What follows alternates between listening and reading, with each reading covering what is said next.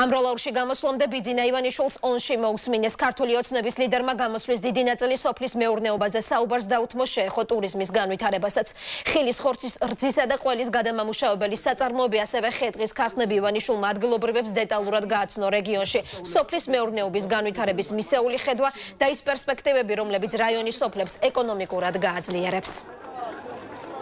მაგრამ ამას იქნა თქონდა რა 1 მილიარდიან პროექტში აუცილებლად განიხილება ის რომ იოლი და ხელმისაწვდომი იაფი ფული გექნება თქვენ რაჯულებს და თქვენ თვითონ შეიძენთ და ააშენებთ ქარხანას გადამამუშავებელს ხორცის რძისა და ყველის გადამამუშავებელი ქარხანა და ამით სტიმული მიეცემა ამ დარგის გაფართოებას და განვითარებას გამოსვლის დროს ივანიშვილმა ოკუპირებულ ტერიტორიებზეც ისაუბრა ქართული ოცნების ლიდერმა ხაზი გაუსვა დემოკრატიული ინსტიტუტების განვითარების აუცილებლობას, ეკონომიკური რეფორმების გატარებას, სასამართლო სისტემისა და მედიის თავისუფლებას და თქვა, რომ ეს ყველაფერი იქნება წინაპირობა რუსული ჯარების მიერ დაკავებული ტერიტორიების გასათავისუფლებლად.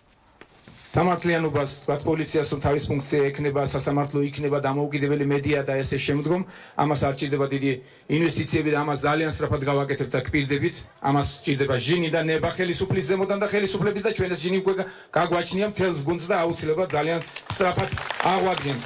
და ეს ძალიან სწრაფად აღსდგება ქვეყანაში. რუსები საუკუნეები ფიქრობენ რომ გადმოელახათ კავკასიონი და საუკუნეები ოცნებობენ რომ შემოსულიყვენ აქ მაგრამ ეძებდნენ საბაბს და ეძებდნენ მიზეს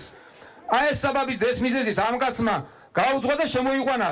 ამისთვის საჭირო იყო ის სისულელები რაც მან გააკეთა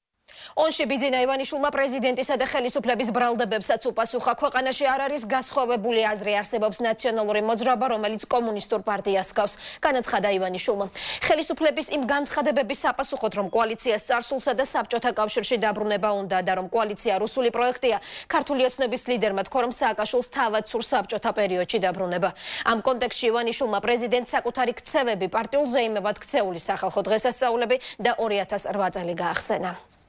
რაშიც მუდამ გამოდის და თუ უყურებთ მის გამოსვლებს და გვადანაშაულებს ძირითადად არის ის რომ და თქვა ამ დაქირებული ზონდერების გავსი ან მოსახლეობას რომლებსაც რაღაცას უხდიან რომ ჩვენ შეხვედრები ჩაგუშალონ ძირითადად შეკითხები რომ რუსი არ გვინდა მე მეძახი ან რუსი არ გვინდა რუსი არ მოიყვანო. ან თვითონ სააკაშვილი იძახის რომ უკან გვაბურნებენ და საბჭოთა კავშირში გვაბურნებენ აი ახლა ნახოთ. ის რასაც ჩვენ წამებს და თითქოს მემაგის გამგეთებელი ვარ და ამით აშინებ საქართველოს მოსახლეობას ამ კაცმა ორივე უკვე გააკეთა